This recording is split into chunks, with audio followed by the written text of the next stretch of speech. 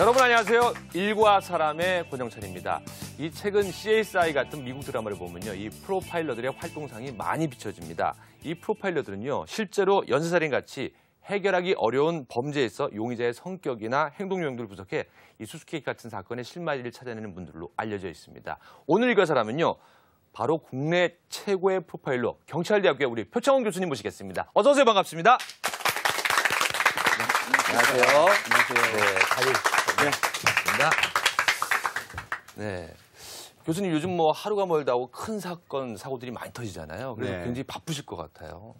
네, 아무래도 사건이 발생하면 네. 어, 사건 수사 방향에 대한 조언이라든지 분석, 어, 그리고 이후에 어, 뭐 신문 과정에 대한 준비 여러 가지 할 일들이 많죠. 네.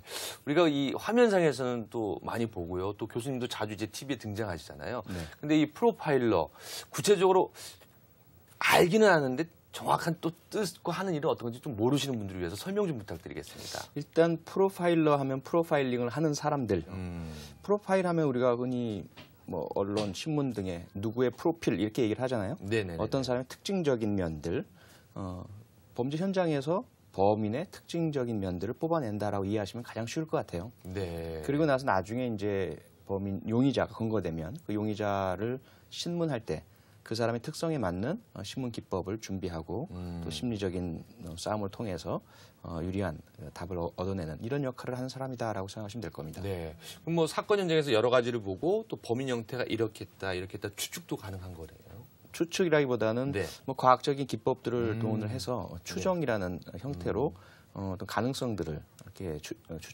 추출해내죠. 네. 그 지금 이제 대한민국 1호 프로파일러신데요. 궁금한 게 어린 시절 꿈은 프로파일러가 꿈이었습니까? 아니면 어떤 거였습니까? 제가 어렸을 때는 프로파일러라는 용어 자체도 없었고요. 없었죠, 사실은요. 네. 어, 다만 그 추리 소설 음. 어, 셜록 홈즈 시리즈를 네네네네. 보면서 어, 막연하게나마 그런 역할을 꿈꾸긴 했죠. 네. 다만 그 이후에도 뭐 대통령이 꾸민 적도 음. 있었고 뭐 군인 아저씨 또 네.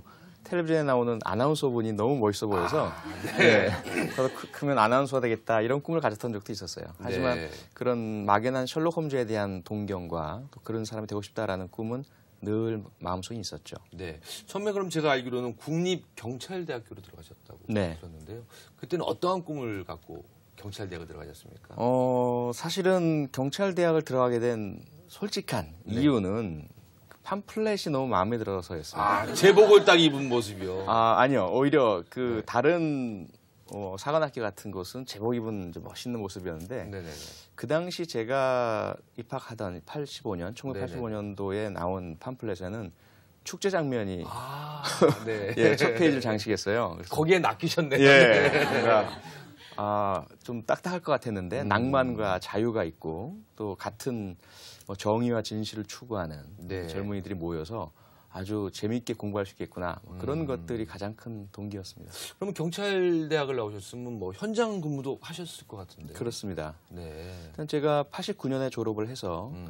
어, 제주도에 제일 먼저 갔고요. 네네네네. 제주도 전경 해안 전경대에서 소대, 소대 장 1년을 하고요. 네. 그다음에 이제 화성 경찰서로 와서 음. 1년 근무하고 그 다음에 경기도에 있는 부천 경찰서 네. 어, 뭐 이렇게 현장 근무들을 쭉 했습니다. 근데 현장 근무를 하시다가 어떠한 인연으로 또 교수님 자리를 또.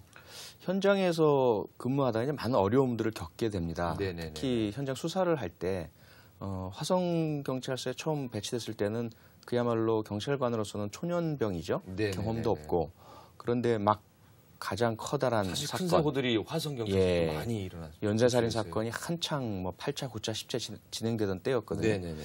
그때 뭐 저는 전혀 보탬도 되지 않는 이런 모습이라는 데서 무력감도 느끼고요. 음. 네네네. 더 나아가서 어, 범죄자가 그렇게 뛰어난 사람 같아 보이진 않는데 음. 우리 경찰이 그야말로 수백 명이 음. 한꺼번에 동원돼서 어, 온 화성 지역을 이잡듯이 뒤지고 모든 네네. 음. 사람들을 다 조사하고 그렇게 해서도 범인을 못 잡는다는 것에 많은 자괴감을 느꼈는데 음.